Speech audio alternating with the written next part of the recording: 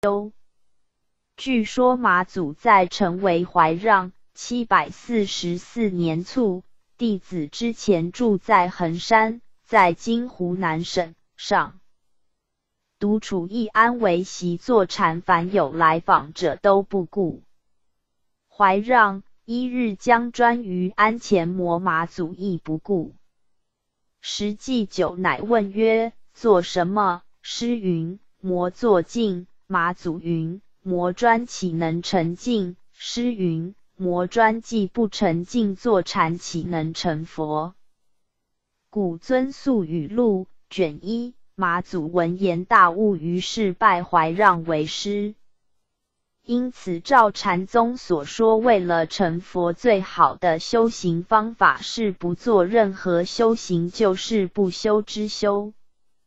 有修之修是有心的作为，就是有为。有为当然也能产生某种良好效果，但是不能长久。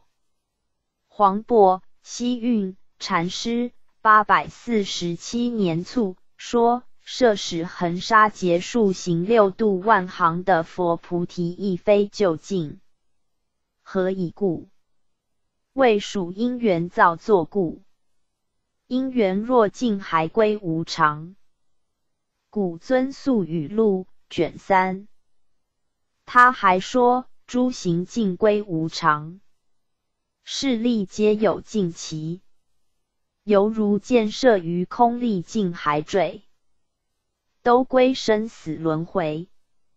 如斯修行不解佛，亦须受辛苦，岂非大错？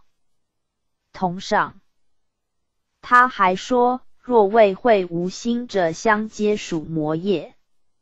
所以菩提等法本不是有，如来所说皆是化人。